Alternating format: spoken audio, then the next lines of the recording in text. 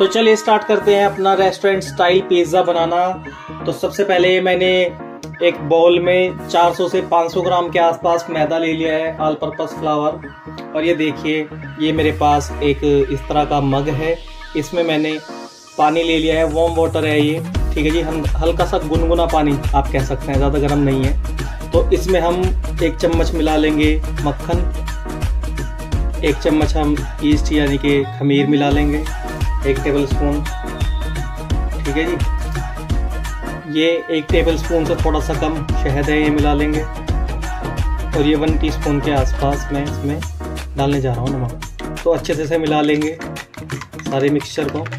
और पाँच मिनट के लिए हम ईस्ट को एक्टिवेट होने देंगे। फिर मैं आपसे मिलता हूँ। तो चलिए गाइस जो ये हमारा ईस्ट का मिक्सचर है, इसे मिला देते हैं अपने फ्लावर में। ये मैंने 200 सौ के आसपास पानी लिया था। और आप अच्छे से मिला लें इस पूरे मिक्सचर को। सारे मिक्सचर को मिलाने के बाद मैं आपसे मिलता हूँ। हाँ जी गाइस तो देखिए हमने अपने आटे को, मैदे को अच्छे से गून लिया है और इस तरीके से हमें स्ट्रेच करना है इसको मतलब एक फैलाना है। ठीक है जी? स्ट्रेच करने से क्या होगा, जो हमारा इसका आटे का ग्लूटीन है, वो ग्लूटीन रिलीज़ होगा और अच्छे से हमारा जो है मैदा बनेगा, पूरा मिक्सचर फैलेगा। ठीक है जी? तो अब मिलते हैं दो घंटे बाद। ढककर इसे रूम टेम्परेचर पर छोड़ दे, फिर मैं आपसे मिलता हूँ। हाँ जी गाइस तो देखिए, दो घंटे बाद कुछ इस तरह के दस्तूरे हालात हैं हमारे आटे के। लगभग ये डबल हो चुका है आटा हमारा, या डो ठीक है जी? अब मैं इसके हाफ़ कर लूँगा और मैं फिर मिलता हूँ ट्रे पर। हाँ जी गाइस तो देखिए, मैंने अपनी पिज़्ज़ा ट्रे ले ली है और इसमें मैं अपना ये डो रख दूँगा। और हल्के हल्के हाथ से इस तरीके से मैं पूरे डो को फैला लूँगा, दोनों हाथों से। ठीक है जी? इसे पूरे को फैला कर मैं आपसे मिलता हूँ। हाँ जी गाइस तो मैंने अपने पूरे बैट, उसको डो को फैला लिया है अपनी ट्रे पर, पिज़्ज़ा ट्रे पर। और इस मुकाम पर आकर ये मैं होममेड पिज़्ज़ा सॉस इस पर डाल दूँगा। देखिए, असल खेल जो पिज़्ज़ा का टेस्ट है, वो पिज़्ज़ा सॉस में होता है। तो आप अच्छे से, मैं भरकर अच्छे से डालूँगा।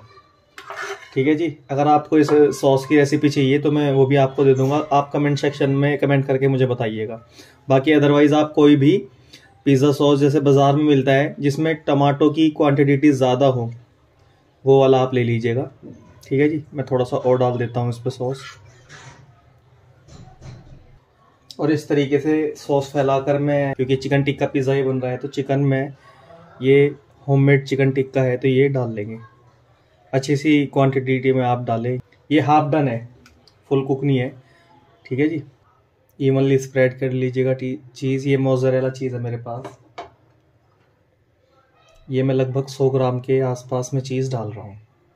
और ऊपर से ये मैं थोड़े से प्याज डाल दूँगा। तो देखिए गाइस कितना प्यारा हमारा पिज़्ज़ा अभी से लग रहा है। और अब मिलते हैं अवन पर। हाँ जी गाइस तो हमने अवन प्री हीट कर लिया है और कन्वेक्शन मोड पे 180 करके टाइम लगा देंगे अपना 20 से 25 मिनट में ये हो जाएगा। तो चलिए अब अपने पिज़्ज़े को रखने का टाइम आ गया है। स्टार्ट कर दें। और अब मैं मिलता हूँ 20 से 25 मिनट बाद आपसे। हाँ जी गाइस तो ये मेरा जो पिज़्ज़ा है, पूरे 22 मिनट में पका है और देख लीजिए कितना प्यारा लग रहा है। तो चलिए अब मिलते हैं टेस्टिंग पर। हाँ जी गाइस तो स्टार्ट करते हैं मेरा फेवरेट पार्ट यानी कि टेस्टिंग और मैं एक दिखाता हूँ एक स्लाइस आपको। कितना मज़े का ये लग रहा है, ये देखिए। प्रॉपर ये हमारा जो है पका हुआ है डो भी और ओरिगानो और चिली फ्लेक्स मैंने ऑलरेडी इस पे डाल लिया क्योंकि सबर आज मेरे से नहीं हो रहा था। तो चलिए देखते हैं। Chicken tikka pizza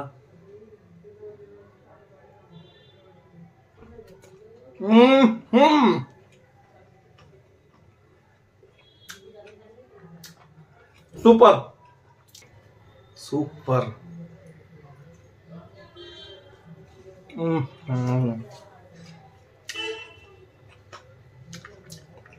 देखिए, मैं टिक्के का पीस तोड़ के दिखाता हूँ। प्रॉपर कुक है अंदर से देखिए। हम्म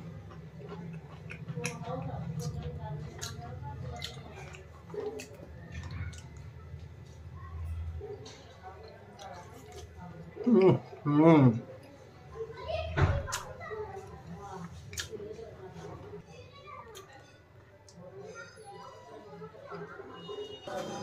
तो गाइस बड़ा मज़े का मज़ेदार आज हमारा चिकन टिक्का पिज्जा बना है। तो आपको एक चीज़ का विशेष का ध्यान रखना है, जो आपके सॉस की क्वालिटी है, वो अच्छी क्वालिटी का होना चाहिए, जिसमें टमाटर ज़्यादा हो। तो बड़ी जल्दी मिलते हैं। नेक्स्ट वीडियो में। उससे पहले चैनल को लाइक करे शेयर करे कमेंट करे सब्सक्राइब करे। ये आपका चैनल है, आपके भाई का चैनल है।